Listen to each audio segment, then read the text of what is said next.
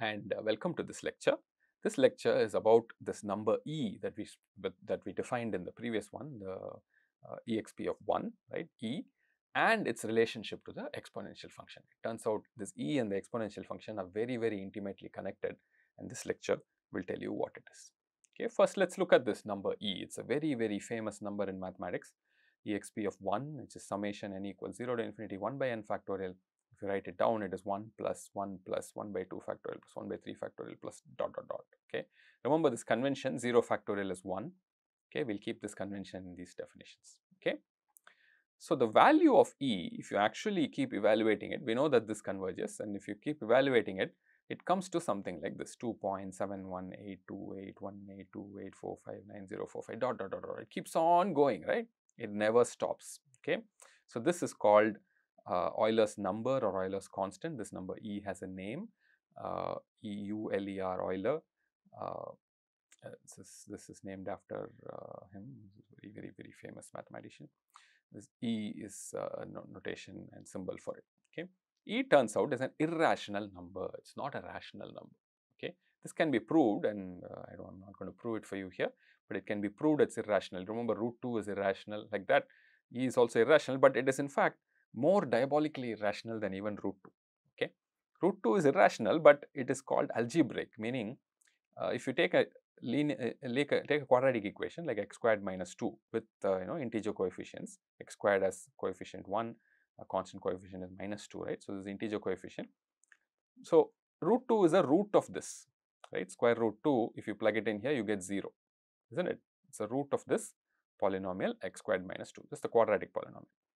It turns out E is so irrational that it's not at all algebraic, as in there is no polynomial with integer coefficients for which E is a root. Okay, so it's a fascinating number, isn't it? So you face first time we are facing such a number which is irrational. We haven't proved it, but it's not even algebraic. There's no polynomial with integer coefficients for which e is a root. So these kind of numbers are there. Pi is also such an, a non, non-algebraic rational number.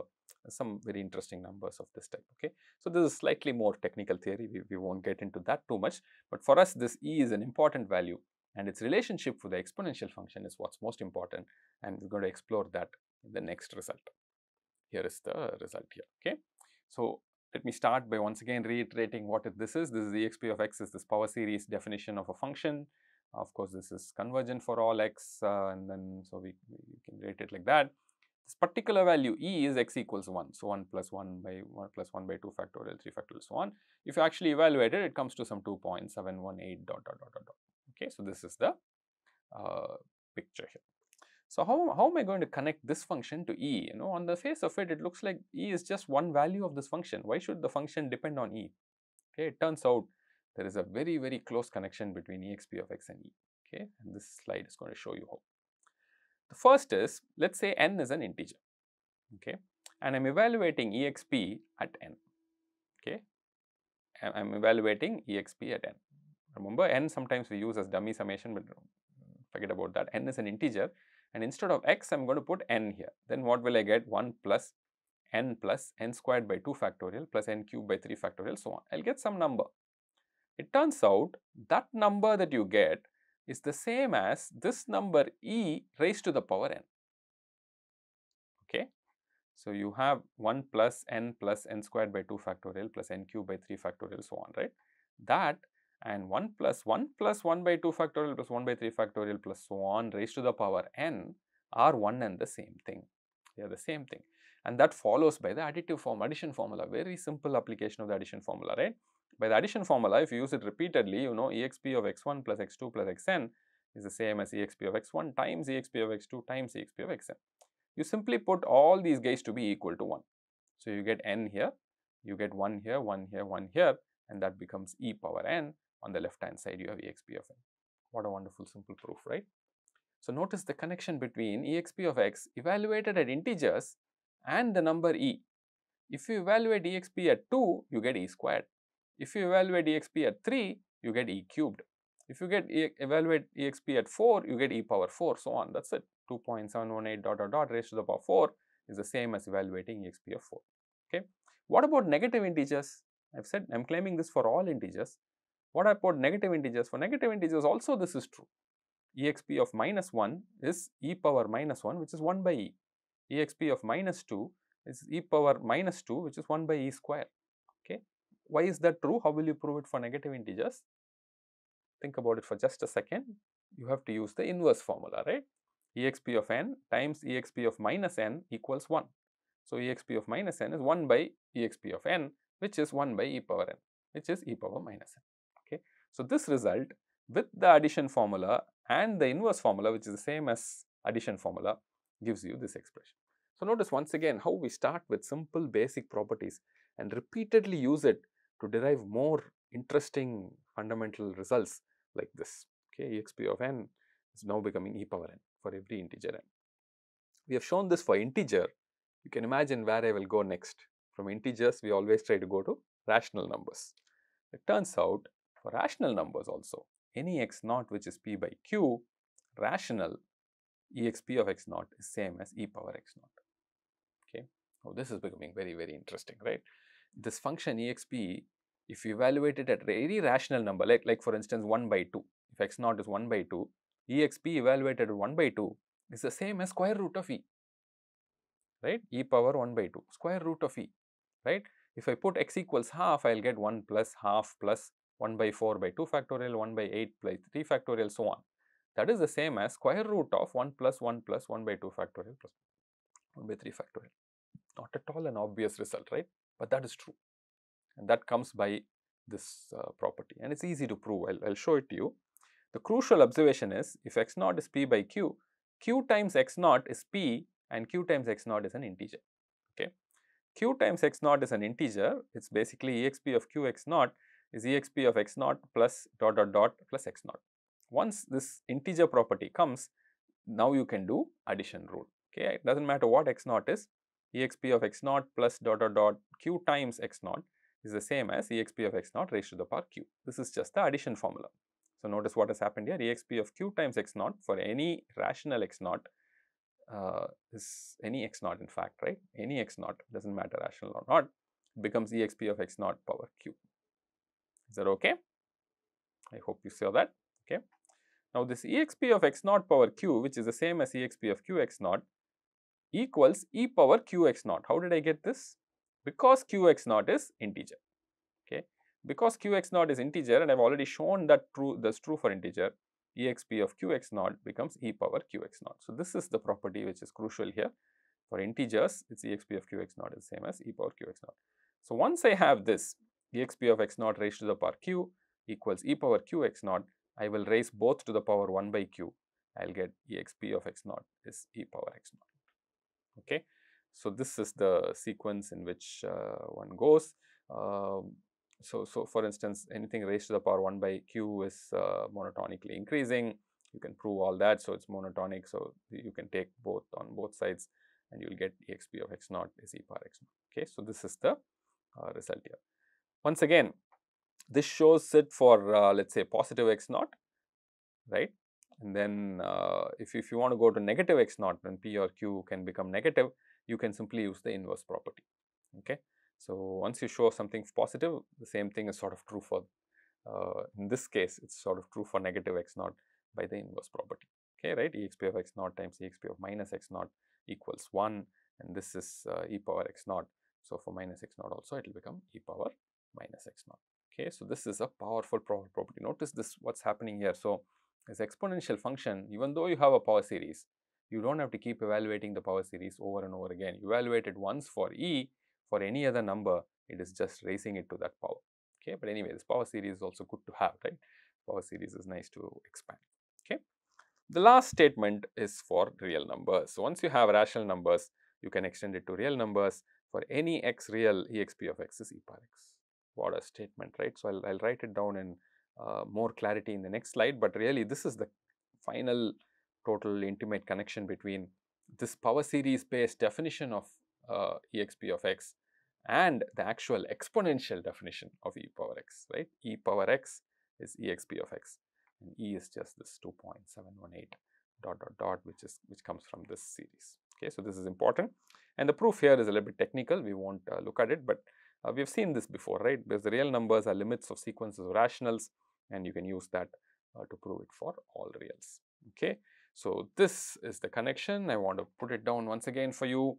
Uh, exp of x is this 1 plus x plus the series which is the same as 1 plus 1 plus 1 by 2 factorial 1 by 3 factorial whole thing raised to the power x and this is true for every real number x okay it's 2.718 raised to the power x what a wonderful result right so e power minus x for instance is 1 by e raised to the power x which is 1 minus x plus x squared by 2 factorial minus so on. So, is just one more one more function and uh, you can see this e power x and e power minus x will be sort of mirror images of each other, right.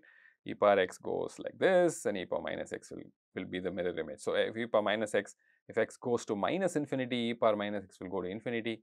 If x goes to plus infinity, e power minus x will go to 0, right. The same sort of uh, nice little uh, plot you can make here uh, with, uh, with e power minus x and e power x. Okay. So, let me just summarize all the properties of e power x now. Okay. So, a lot of people do not write exp of x. Okay. So, maybe in uh, mathematical numerical evaluation you write exp of x. Typically, nobody writes exp of x, right. So, you just write e power x all the time and we know that this is valid and we have just proved it uh, that this is valid, right. So, e power x is continuous and differentiable everywhere. The derivative is itself you can, in fact you can keep on differentiating any number of times. If you di differentiate you get the same thing. E power x is greater than 0 for all x. E power x is increasing for all x. And then this wonderful addition formula e power x plus y is e power x times e power y. We know this is true for exponentiation right? So this is how uh, it works out. And e power x tends to infinity as x tends to infinity. E power x tends to 0 as x tends to minus infinity so here is a very very important and very crucial relationship x power n times e power minus x. Okay, so notice what's happening to e power minus x. It is decreasing and even for positive x, it is sort of exponentially falling to 0, right, e power minus x. So, if you put 5, you get 1 by e power 5. For 10, you get 1 by e power 10. So, it's exponentially falling down to 0. I am multiplying e power minus x by x power n. What is happening to x power n? x power n increases with x, right? It, it, we have seen, you know, x is a straight line, x square is a curve like this, x cube is a curve like that. x cube also blows up. So, x power n is blowing up to infinity as x tends to infinity. e power minus x is dropping down to 0 as x tends to infinity. What happens when I multiply these two things? I am going to sort of get an infinity times 0 value, right? I am getting an infinity times 0 and we know that that is dangerous isn't it? I've shown you in limits that in limits we don't know usually how to do infinity into 0. But however, this infinity into 0 we can resolve. It turns out x power n times e power minus x as x tends to infinity always goes to 0 for every n. e power minus x wins, okay. x power n is going to infinity, but it's not as fast as e power x, okay. e power minus x can kill x power n for any n. n could be 1000, you know, you make it x power 1000, but e power minus x will eventually win. As x tends to infinity, it will pull it down to 0. Okay. So, this is a powerful, powerful and important result to remember the fact that x power n e power minus x becomes 0 uh, for every n. Okay, the proof is actually not very hard, you know, the proof is very easy. You, you look at the n plus 1th term of e power x for x positive sufficiently large, it is x power n plus 1 by n plus 1 factorial. We know e power x is greater than that, right? It is just one term. e power x has so many other terms. The n plus 1th term is just one term. So, e power x is greater than that. You can rearrange this, keep 1 x here, bring it down. This is just a rearrangement. You see x power n times e power minus x is less than, there is n plus 1 factorial there, but then divided by x, right. So, for a fixed n, if you even if n is 1000, as long as it is fixed, if x is tending to infinity, this term will go to 0 and x power n e power minus x will go to 0. Okay, so that is the power of this, uh, this formula. So, this is this is a statement that people make about e power x, right. So, e power x grows faster than any power of x for large x. So, any x power n is not as fast as e power x, e power x is really, really, really fast. Okay. So, there are various ways to understand that x power n has derivatives which are n x power n minus 1, eventually the derivatives run out, right. The derivatives seem to be positive, but their derivatives are becoming sort of smaller and smaller and smaller, they run out. e power x on the other hand, the derivatives do not run out, right? e power x derivative is e power x, e power x, e power x, derivatives stay there, okay. So, that is one of the reasons why uh, you know intuitively if you want to think about it, e power x becomes much much faster than x power n for any fixed n, okay. I hope uh, this is clear to you. These properties are very very crucial. They are used all the time in understanding models, mathematical models in which the exponential function shows up, okay. Here is a little illustration of this e power x versus x power n. I showed you, I told you that uh, e power x will eventually overtake x power n, right. However large n is, e power x is bigger, right. So, instead of comparing e power x and x power n, this is a little bit difficult because the, both these values are blowing up, right. So, it is better to compare something that's slightly blowing up slowly, okay. So, I am going to take nth root on both sides and I am going to compare e power x by n versus x. Both of these are the same comparison except that this x and e power x by n hopefully are growing much slower and I can plot it much more easily. So, I want to claim e power x by n will overtake x eventually. Okay. So, I have made a little uh, uh, video here. Okay. Let me go back to